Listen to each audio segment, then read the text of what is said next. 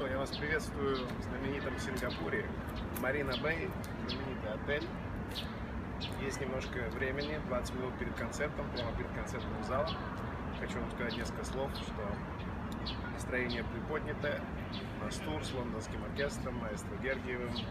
Скоро поедем в Австралию, но сегодня и завтра мы здесь, в этом интереснейшем городе-государстве. Это даунтаун, хочу вам показать